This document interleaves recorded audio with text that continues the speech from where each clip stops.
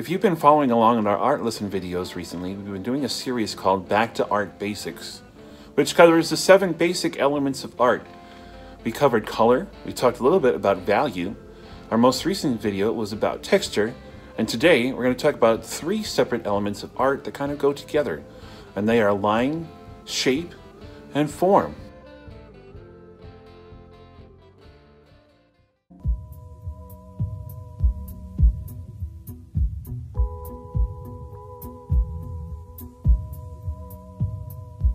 Each of these pictures is a self portrait by a well known artist.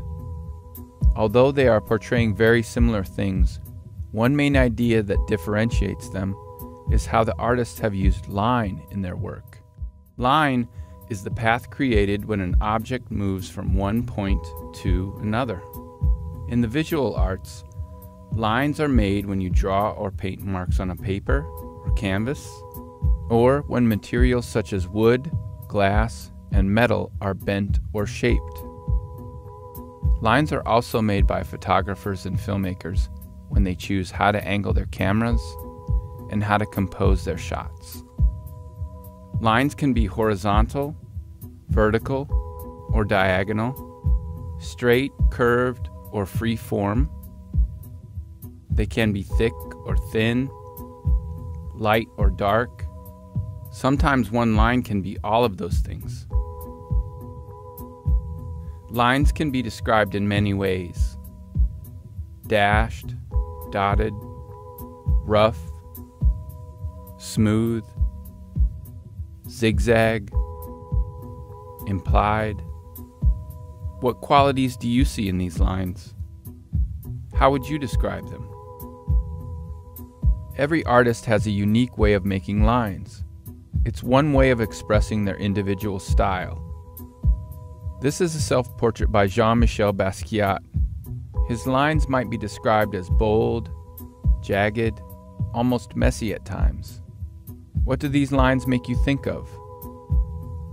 Why might he have chosen to represent himself in this way? Compare that to the faint, seemingly unfinished quality of this self portrait by David Hockney. What do his lines suggest to you? Do they make you think or feel differently than the Basquiat self portrait? If you were drawing a self portrait, what kinds of lines would you choose to represent yourself? What kinds of lines would communicate the messages you want viewers to think about? The next time you are looking at a sculpture, painting, or drawing, try to notice what kinds of lines are used and interpret what they mean to you.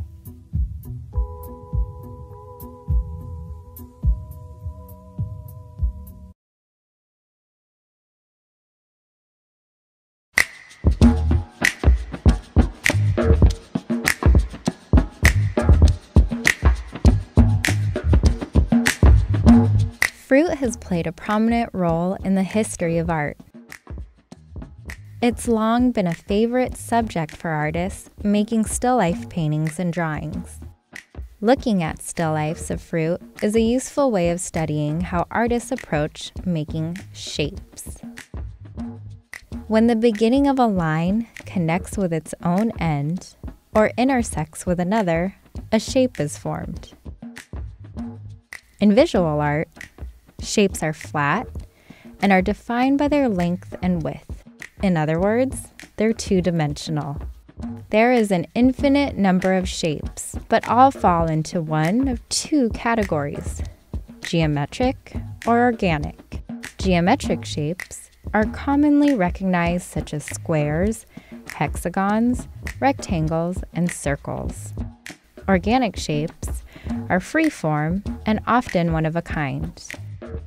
Artists learn how to see the world around them as basic shapes. Simplifying objects into geometric and organic shapes makes drawing them easier. Shapes inherit the qualities of the lines that were used to construct them. For instance, this painting by Cezanne has heavy, solid outlines that define the shapes, whereas the fruit in this ink drawing by Manoel Araki is made up of very soft, fuzzy lines. Each approach to making lines produces different feelings and associations in the viewers. Some artists make oranges that are perfectly round, while others draw or paint every little bump and detail of the skin. The next time you're looking at a painting or drawing, try to notice how the artist is using shape in their work. If you were making a drawing or painting, how would you interpret the objects in front of you? Would you draw them as faithfully as possible? Or would you choose to represent them more abstractly? Practice for yourself by setting up a bowl of fruit and drawing what you see.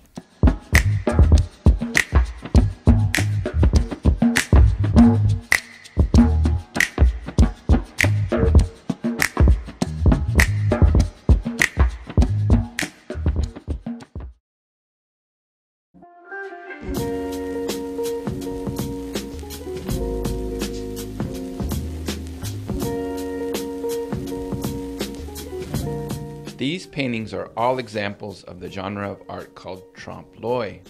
Translated from French, trompe l'oeil literally means fools the eye. It's a style of art that makes you question if what you're seeing is real.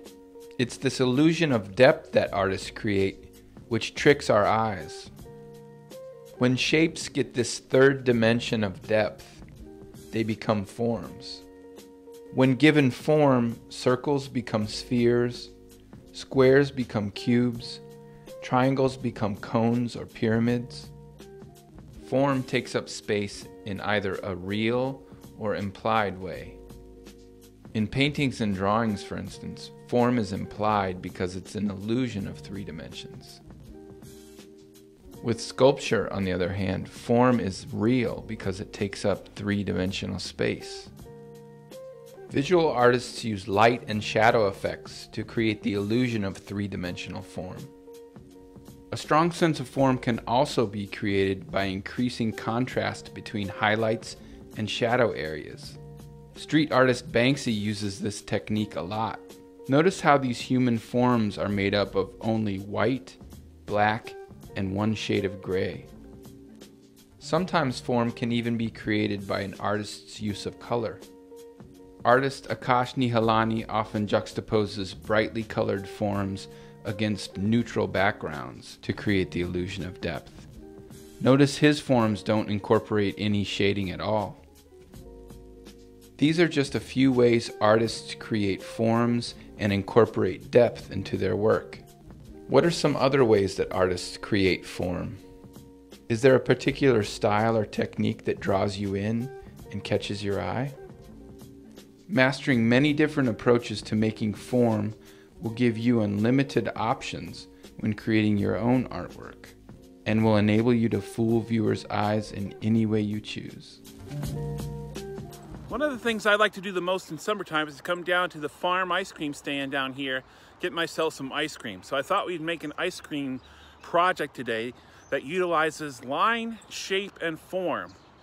Let's take a look at the directions. We'll be making a three-dimensional ice cream cone design that incorporates all three of the elements of art we've been talking about. The ice cream cone itself will be the form, and the background will feature both lines and shapes. Here's the supplies you're going to need for this project. You'll need some brown construction paper. If you don't have brown, any other color will do. You'll need some white poster board, or some thick artboard paper, or some foam core. You'll need some tissue paper, either colored or white. You'll need a pencil, a ruler, some heavy duty tape like duct tape or Gorilla tape or packing tape. Then you'll need some markers or paint or colored pencils or pastels. You don't have to have all of those things, you just need to have something to color with. Then you'll need some scissors, and you'll need a stapler, and glue, which is optional. All right, we're to make our cone now. To make our cone, we need a piece of brown construction paper and we need a ruler and we need a pencil. And what we're going to do is we're going to um, make the curve that is going to make up the cone. So we start by making a two-dimensional flat shape before we make the form of the cone. So let's take our ruler and we measure how long the side of the paper is. And this paper is 12 inches, okay? So the longer part is obviously more than 12 inches, but we only want a 12 by 12 space to work with. So what we're gonna do is we're gonna measure down here, we're going to measure 12 inches and mark it with our pencil. So here's 12 right here. So we have 12 inches going this way and then 12 inches going that way. And now what we're gonna do is we're going to make a curved line that connects this 12 inch with this corner up here, the 12 on this side. All right, so let's do that. Okay, I've drawn that curved line that connects the top corner with the 12 inch on the bottom. And now what we're gonna do is I'm gonna take a pastel. You can take uh, markers or crayons or colored pencils. And what I'm gonna do is I'm gonna make lines coming out from this corner now that will make the design of the waffle cone. If you've ever seen uh, an ice cream waffle cone, it has kind of like a crisscross pattern to it. So I'm gonna start by making a bunch of lines that go out this way over the curve and then I'm going to make lines that go this way to be the crisscross of the pattern of the waffle cone. I'm to do that right now. Okay, I've drawn my diagonal lines and now I'm to draw the curved lines going in the opposite direction.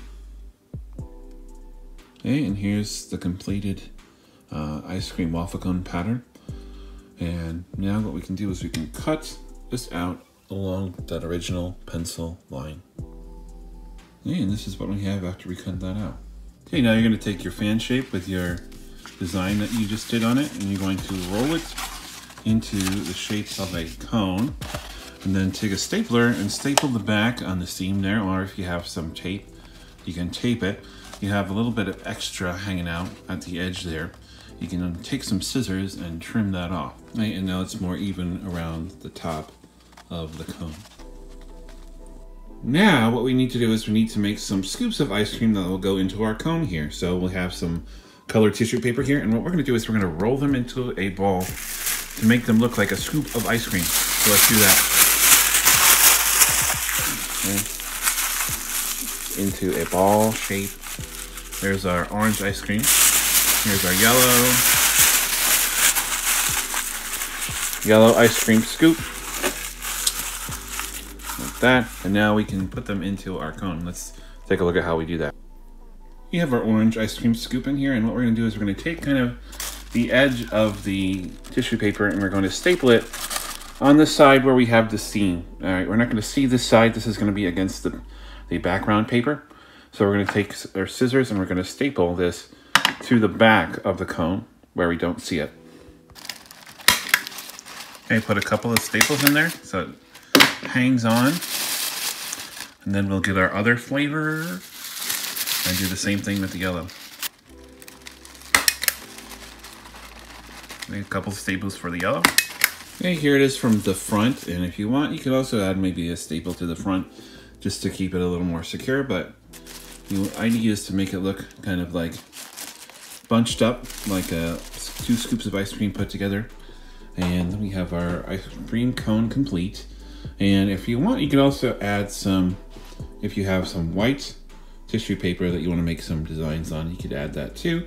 Let's take a look at how we do that. Here's our white tissue paper, and if you want to make some designs like maybe sprinkles or chocolate chips or something that would be um, in your ice cream flavor, you can do that. We'll make some sprinkles on this sheet of white paper, and then we'll see what it looks like as a scoop of ice cream in our ice cream cone.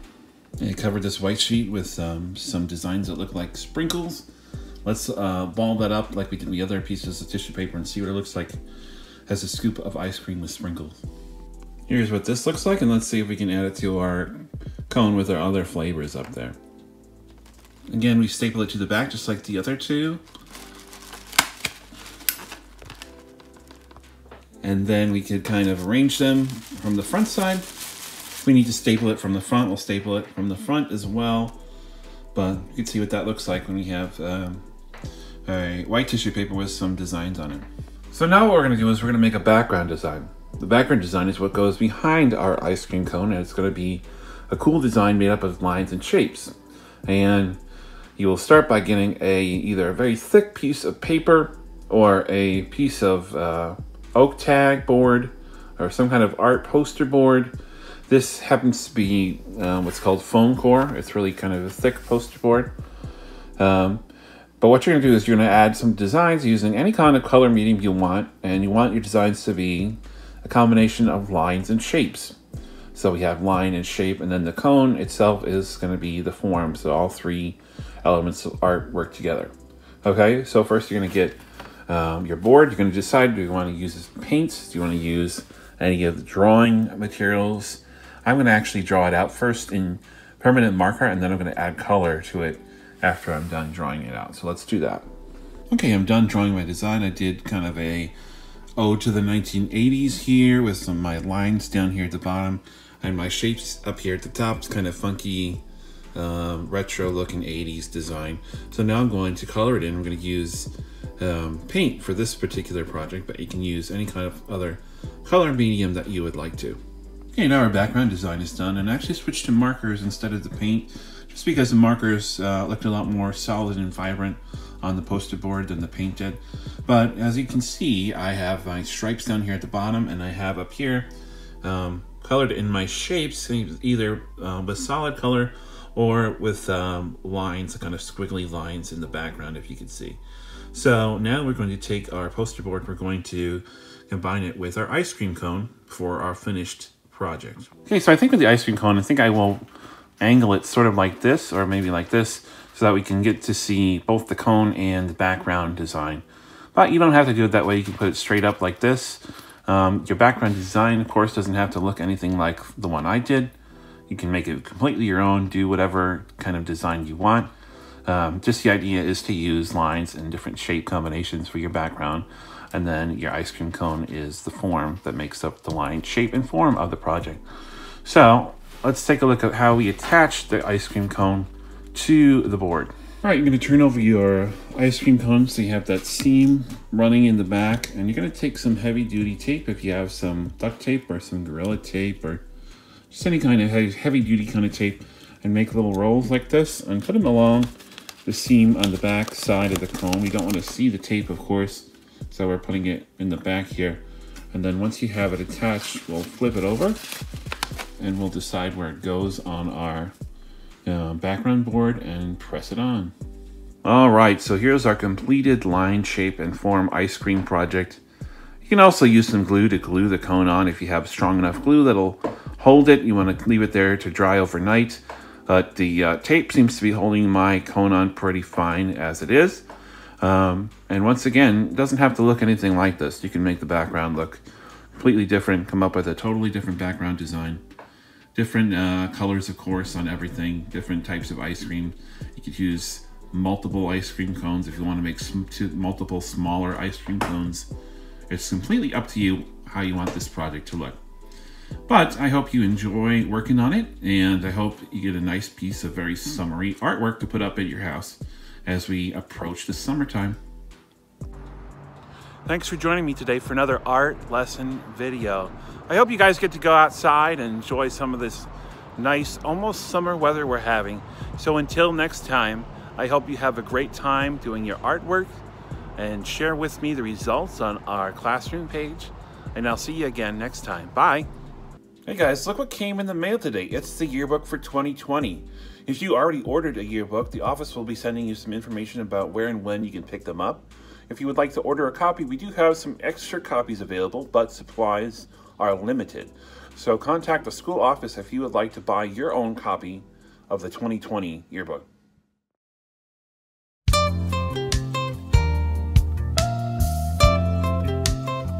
Hi, I'm Bob Ross. I'm so glad you could join me today as I go on my adventures around the playground. Won't you join me?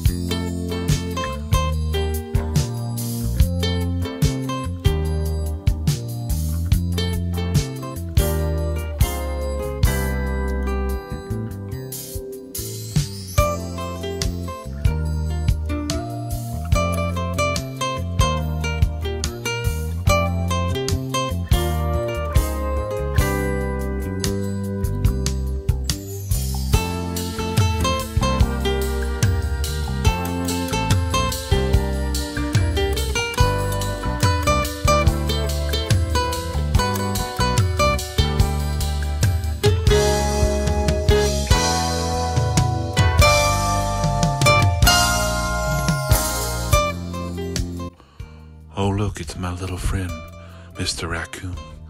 I love Mr. Raccoon. He's one of God's creatures, you know.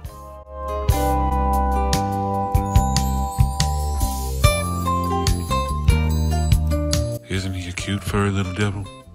There he goes. He's gonna scamper away now. Bye, Mr. Raccoon. I'd like to thank you very, very much for joining me today, friends. I hope you can join me another time. Until then, God bless, my friends.